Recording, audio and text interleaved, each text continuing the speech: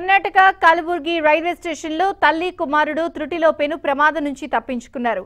కుమారుడితో కలిసి కలబుర్గి రైల్వే స్టేషన్కు వచ్చిన మహిళ రైలు పట్టాల మీదుగా ఒక ప్లాట్ఫామ్ నుంచి మరొక ప్లాట్ఫామ్కు వెళ్ళేందుకు ప్రయత్నించారు. ప్లాట్ఫామ్ దగ్గరకు చేరుకునే సమయానికి ఒక గూడ్స్ రైలు వేగంగా వచ్చింది.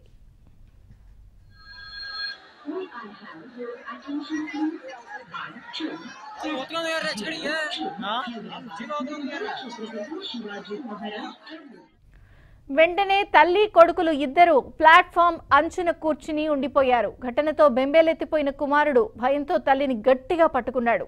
గూడ్స్ రైల్ వెళ్ళిన తర్వాత ఇద్దరు పైకి లేచి ప్లాట్ఫామ్ మీదకు చేరుకున్నారు.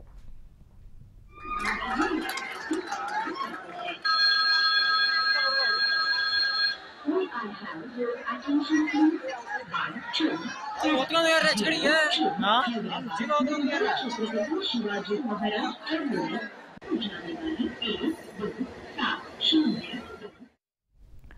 ప్లాట్ఫామ్ పై ఉన్న ప్రయాణికులు ఈ ఘటనను చూసి ఆందోళన చెందారు అదృష్టవశాత్తు తల్లి కొడుకుకు పెను ప్రమాదం నుంచి తప్పించుకోవడంతో ఊపిరి పీల్చుకున్నారు సోషల్ మీడియాలో ఈ వీడియో వైరల్ గా మారింది